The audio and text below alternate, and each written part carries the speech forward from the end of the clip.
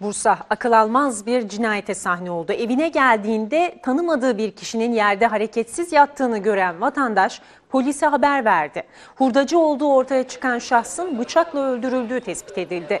Cesedi bulan kişinin ev arkadaşı gözaltına alındı. Olay Yıldırım ilçesi Selimzade mahallesinde meydana geldi.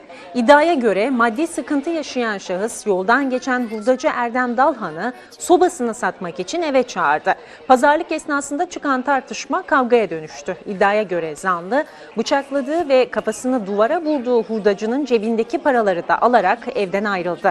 Bir süre sonra zanlının bir- birlikte yaşadığı arkadaşı eve geldiğinde cesetle karşılaşarak durumu polise bildirdi.